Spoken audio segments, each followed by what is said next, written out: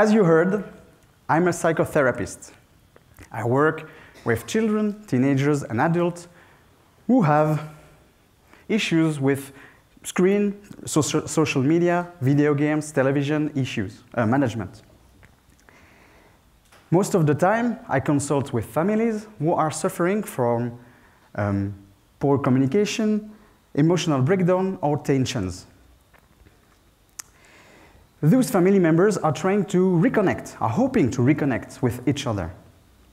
Tonight, I would like to explain how it's useful to talk about video games and how we should help young ones deal with video games. Most of the time, parents are annoyed that they cannot communicate well with their children anymore. After chatting with the teenagers, they usually admit that they also want to spend some time with the parents. But not too much, you know, they are still teenagers. But at least enough to have good time together. The problem is, if you try to explain a video game to someone who doesn't play it, it could be very confusing.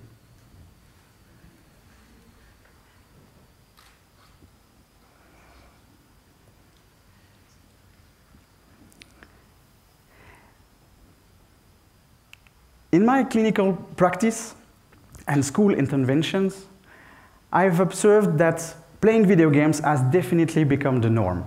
However, young people have little opportunity to talk about what they really do, they actually do on the screens in this other world. It has become an educational challenge for parents to join in with the children as they dive into the digital world.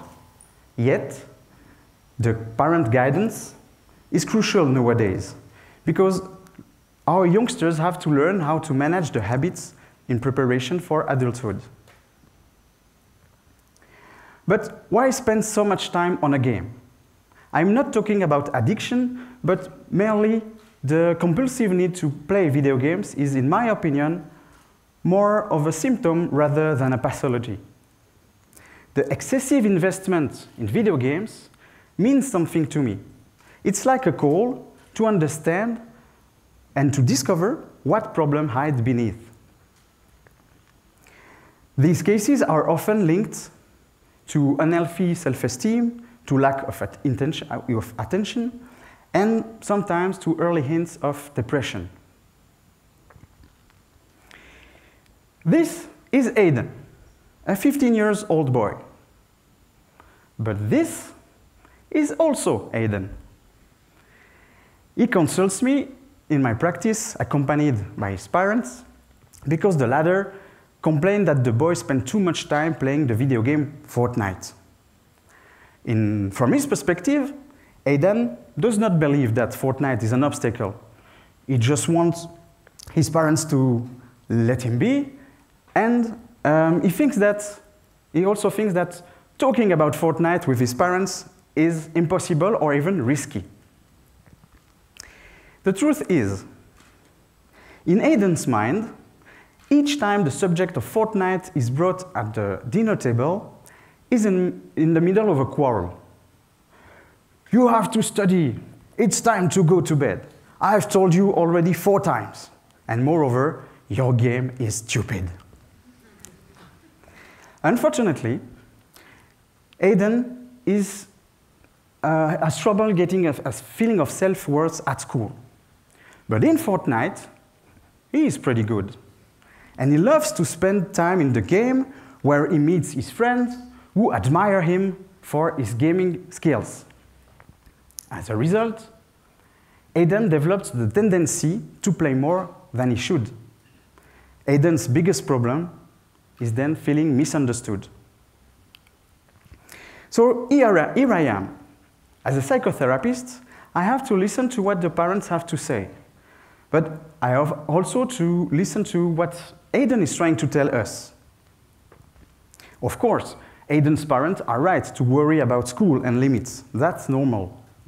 But what would happen if Aiden could express about what he feels when he plays Fortnite, about his accomplishments, And what about what if he didn't feel anxious about telling why he loves to play the game?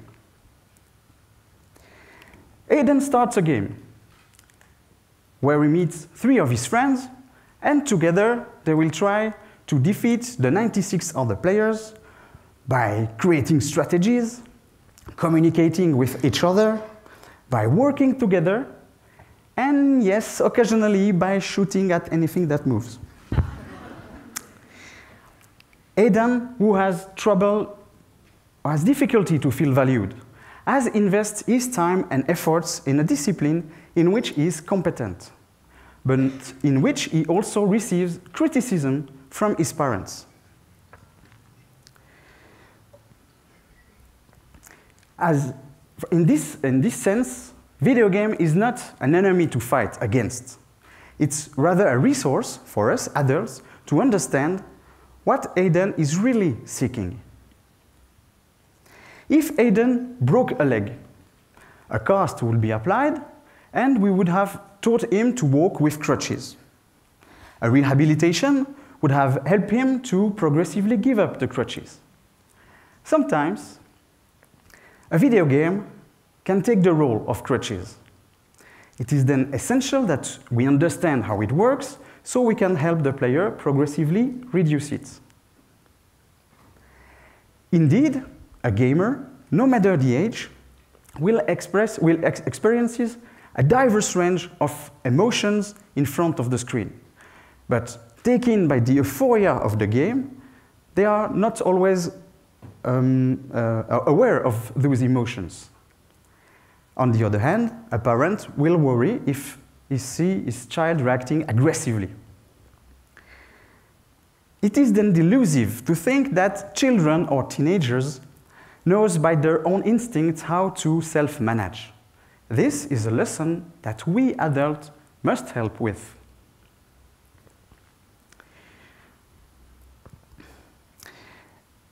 I would like to know how many among you play video games on console, PC, smartphone, whatever. Okay, all right. Thank you. So practically everybody plays. So the more we open up the possibility to discuss video games, the more the concerned player can break away from his habits and put into words what he feels and lives. This is a known approach for the treatment for traumatic shock, for example. The more you can narrate what happened to you, the less you are focused to go back in. You can then take a step back. Do you know that spectators and a player who holds the, the gamepad does not have the same experience? A player will focus his attention on information they need at a timely moment. While spectators, overwhelmed by confusing informations, will focus their attention on something they already know, and that often matches with the violent part of a game. So, players and spectators are not on the same level of communication. And they are, both of them are right, but both of them are not talking about the same thing. By creating narrative spaces, we can create bridges, and spectators and players can finally find a way to communicate. Of course, there are also traps involved in video games. But uh, we, after all, video games are still a profitable, uh, lucrative industry. But we can equip our youth to identify these traps and prepare them to become adult, responsible adult users. We talked a lot about young generation because we are very concerned for them. But if childhood and teenage are turning points in life, it can be very scary or confusing. If video game offer a safe spot or kind of safe, safe spot where young ones feel they are mastering something, we have to understand what they are mastering and how we can propose complementary activities calling for that same mastering feeling. So if we talk a lot about young generation, we must not lose sight that, that the same question, the same difficulties about video games can also affect adults. Consequently, it is of utmost importance that we work with our youth to prepare them for the challenge to come in their future. This preparation, this coaching, needs the setup of rules, of frameworks, and above all, respect. But let's not forget about the emotional dimension. Let the parent explain to Aiden why he should sleep at night better than during the day. But during the day, let them allow Aiden to express what he feels, so he, to help him feel recognized for who he is. Here is Aiden. He is now 17 years old, and by learning how to talk about his game, he could express that he really likes to be part of a team. His father took some time to watch him play and to understand how the game works. He observed, he noticed that Aiden does not play all that well when he is stressed. So he tell Aiden how martial arts helped him keep focus when he was Aiden's age. So now, on the family fridge, are pinned Aiden high scores just beside his school report. In conclusion, Restoring faith and emotional bond has to start with emotional moments. Those will lead to a better self respect. The more we open up room for our youth to express what they feel and live in front of the screen, the more we help them not only to learn how to self manage, but also to learn themselves and their emotions. The more we show interest in what interests them, the more we make, make them feel that they are interesting and valued. By giving this recognition, we drive away the risk of excessive gaming. Tonight, in my example, I used video games, but it could be anything else, such as social media. Tell me about your games. Tell me who you are. Thank you.